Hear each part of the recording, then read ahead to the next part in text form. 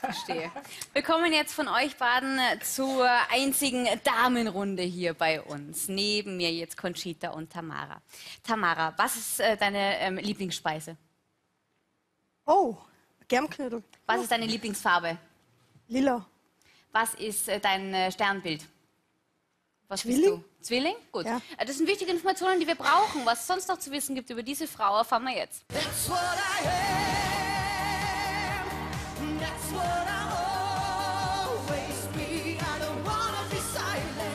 Ich bin der Mara Dirnberger, bin 27, bin Büroangestellte in Wien und bin Fan von Conchita Wurst.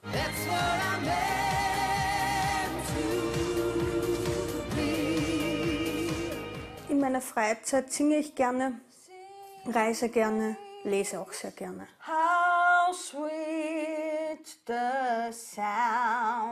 Wenn ich singe, ähm, dann geht bei mir das Herz auf und dann merkt man das auch.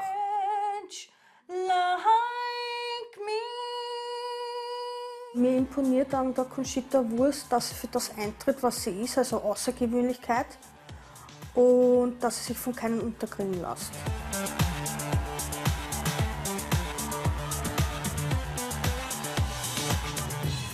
Wie ich sie das erste Mal sah, bei der großen Chance, ähm, war es so, dass ich das erste geglaubt habe, was ist das? Muss ich ganz ehrlich zugeben. Und dann stand sie dort auf der Bühne und dann war ein Ton und dann standen wir im Studio Standing Ovation.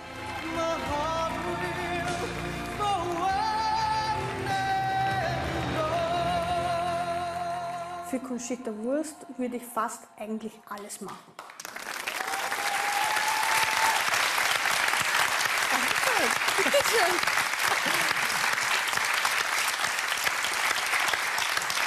Ja, für die Conchita Wurst würde sie fast alles tun und auch mit Conchita Wurst hat sie fast alles getan. Ideale Voraussetzungen für uns. Absolut, absolut. Was kommt auf uns zu?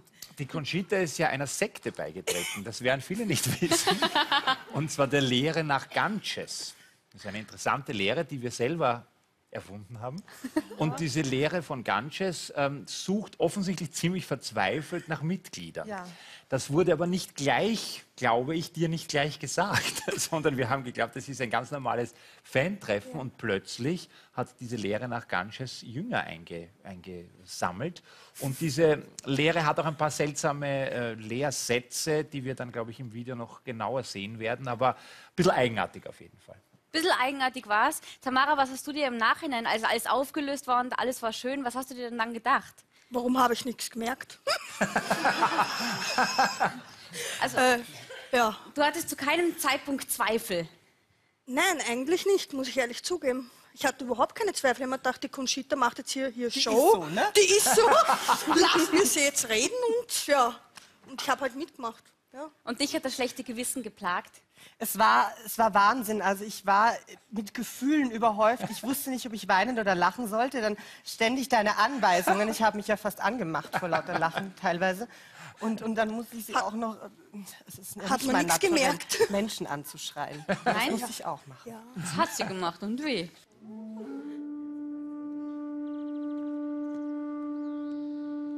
Achtung, sie wird gleich kommen. Sie ist am Weg.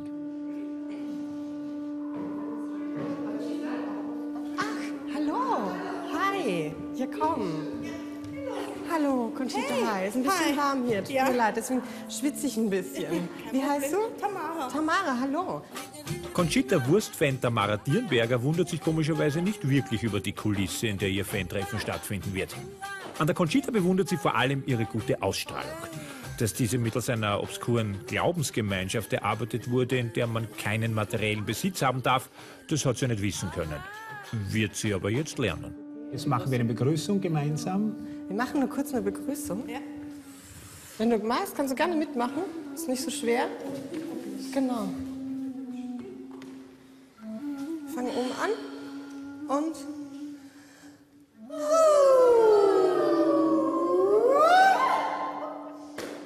Hey, ohne, ohne irgendwas hast du das jetzt gekonnt?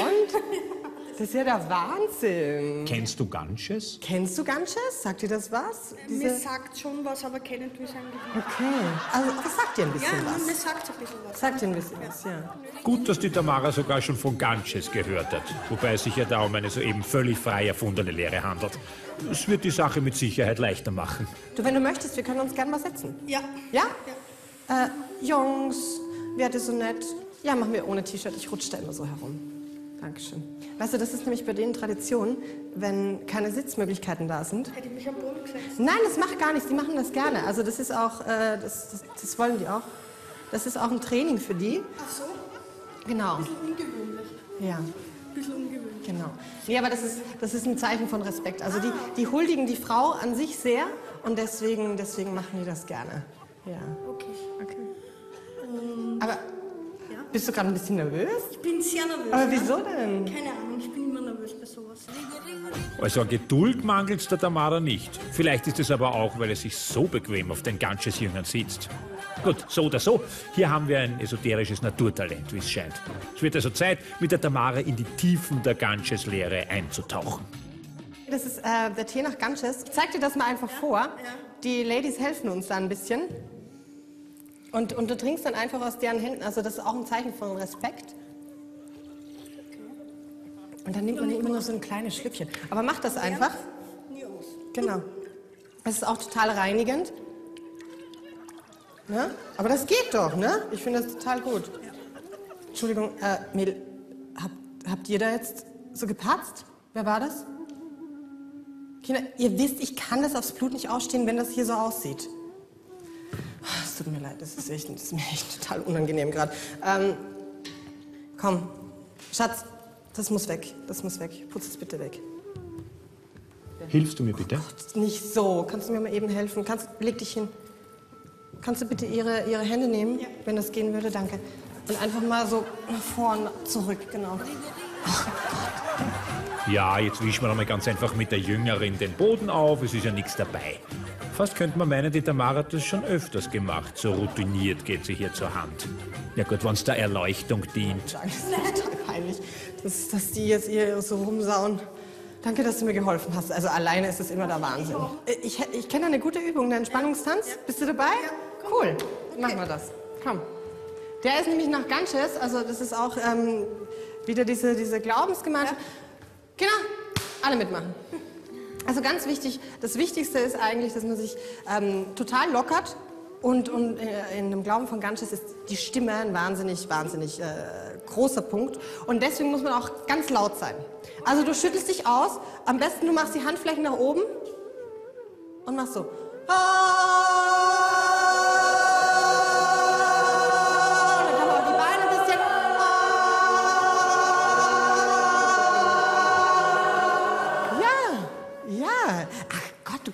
das doch. Du veräppelst mich. Du kannst das alles. Nein, ich kenne das nicht, aber es ist sehr entspannend. Ja, ich finde es auch schön. Ja, ich finde es gerade für meinen Beruf auch sehr wichtig, weil eben die Stimme so im Vordergrund Mach noch mal du. Mach noch mal. Mach noch mal. Ich finde das gerade so faszinierend. Ja. Ja. Ist doch der Wahnsinn, wie sie das kann, oder? Aber da habe ich schon schon gehabt. Ja, aber für die Ausstrahlung ist total wichtig, dass man sich in eine Ecke stellt Stehlampe. Und sich verhält wie eine Stehlampe. Ja, du musst einfach nur auf einem Bein stehen. Und strahlen, Und das wichtige strahlen. Strahlen. Du strahlst noch ein bisschen zu wenig. Meine ich jetzt so ein bisschen. Strahl noch mal ein bisschen mehr. Versuch noch mal. Die Mundwinkel mehr nach oben. Ja, die Augen auf. Herrlich. Das fühlt sich doch toll an. Das habe ich zwei Stunden machen müssen, jeden Tag. Ich habe noch eine wunderschöne Übung. Und zwar berührt man da jemanden an der Schulter. Berühr mich mal. Mach das mal. Mach einfach auf die Schulter. Ding dong! Das ist witzig. Aber weißt du, was das Schöne ist? Wenn du das zwei Monate machst, dann hast du das so drin und, und durch das, dass der Ton so vibriert in deinem Kopf, bist du total frei. Mache ich vor jedem Auftritt und auch den Tanz vorher, mache ich auch. Aber darum geht's ja gar nicht. Jetzt machen wir das mal, okay? Ding dong! Ja, das war schon ganz gut. Halt den zweiten Ton ein bisschen länger aus und versuch's mal höher zu machen. Ding dong! Ja, spürst du das? Spürst du das Kribbeln? Aber das ist schon befreit, ne? Befreit auch total. Also wenn dich das interessiert, wir könnten uns gern mal treffen irgendwie und, und mal darüber quatschen, wenn du willst. Also ich habe nicht gewusst, dass es aus Indien kommt oder Ja. woher das kommt, Ja. weil Indisch schon interessiert mich mich schon, aber nicht für sowas. Okay. Was hältst du prinzipiell von Askese? Würde dir das zusagen? Ich.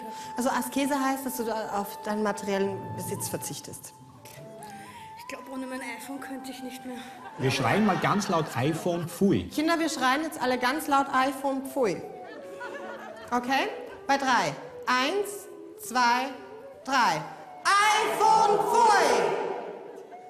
Hörst du das? Du musst mitmachen. Du musst mit, du musst, das muss bei dir ankommen. Versuchen wir das nochmal. Komm. Du musst auch dran glauben. Versuch es. Das ist wie aufhören zu rauchen. iPhone Pfui, Zigaretten Pfui, Hundehaare, Allergie Pfui. Weißt du? Das machst du einfach so. Also, eins, zwei, drei. iPhone Pfui! Hast du dein iPhone da? Hast du dein iPhone da? Ja, ja. Tatsächlich? Zeig mal. Und sie soll das iPhone direkt anschreien. Würdest du dein iPhone anschreien? Ich mach sie mal vor. iPhone voll! Achso, du musst auch ein bisschen fokussieren. Mach mal. Du musst dran glauben. iPhone voll! Ja? Und jetzt gib's mir. Na, jetzt ist aber ganz schön bockig plötzlich die Tamara. Es geht natürlich bei Ganches gar nicht. Da muss sie noch viel lernen und deshalb hat die Conchita gleich einen Langzeitvertrag für ihren Fan vorbereitet. Tägliches Training, das ist ab sofort Pflicht, genauso wie die Überschreibung aller materiellen Güter und des gesamten Vermögens an die Wurst Ganches Gemeinde. Wenn du möchtest, könntest du, könntest du das ganz unverbindlich unterschreiben. Nein. Würdest du nicht? Nein, will ich nicht unterschreiben. Hab ich, hab ich, bin ich dir jetzt zu nahe getreten mit dem? Nein, mein ganzes Vermögen, das wäre eh nicht viel, aber Ja, ja. Ich habe das jetzt auch nicht böse gemeint. Nee, aber es ist Kannst zu weinen beginnen? Da, ganz kurz. Ich wollte dich nur einladen und ich habe mir nur gedacht, dass dir das vielleicht gefällt und dann.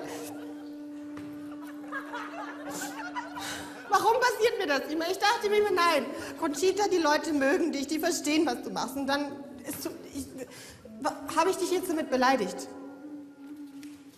Schick die anderen alle raus. Schick alle Könnt ihr, anderen könnt ihr raus. bitte rausgehen? Könnt ihr Sehr bitte streng, rausgehen? sei streng, sei streng. Geht einfach raus, okay? Geht raus!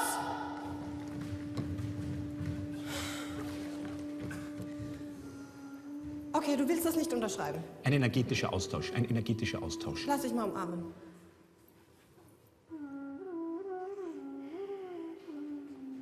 War das gut? ja, Und jetzt? nein.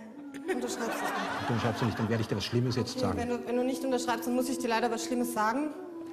Du bist Opfer einer versteckten Du bist Kamera. Opfer einer versteckten. Willkommen bei Hast du Nerven. Willkommen bei Hast du Nerven. Okay. Da sind Kameras, da sind Kameras, da sind Kameras. Du bist so relaxed, Schatz. Ja, ich bin relaxed. Ich bin nicht so viel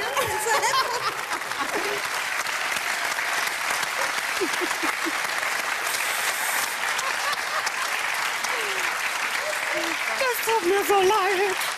Tamara und Conchita. Wollen wir uns noch einmal energetisch austauschen? Nein. Würdest du uns bitte jetzt dein Vermögen überschreiben? Ich bin wahnsinnig schlecht bezahlt. Und der Werner, wie man sieht, noch schlechter.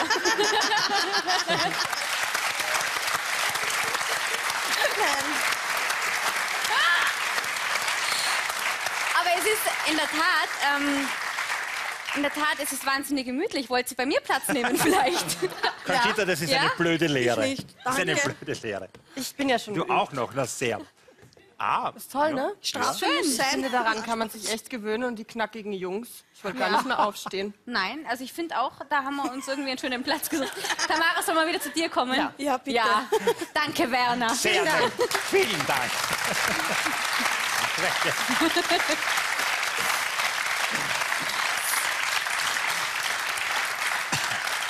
Tamara, du warst, ähm, ja, du warst schon mit dabei bei allem. Ja, Ist dir nichts davon komisch vorgekommen? schon, aber ich habe mir gedacht, ja, mach mal halt mit. Mach mal halt mit. Ist ja nicht so schlimm, oder? Was hast du vorher von Ganges gehört? Nicht in Wirklichkeit haben wir da, sage ich jetzt einmal, ich habe es mal gehört, hört sich nach Indien an, also Wird schon passen wird schon ungefähr. passen ungefähr. Aber du hast wirklich ein ordentliches Organ, wenn du losplärrst, gell? Ja, habe ich. Können wir noch einmal testen? Nein. Jetzt ist Schluss mit lustig.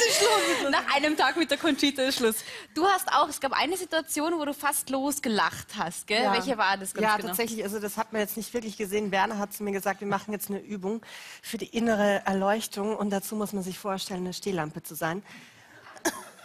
Und er sagt das so und ich war total drin und dachte mir so und jetzt sage ich das und jetzt mache ich das und hin und her und er sagt Stehlampe.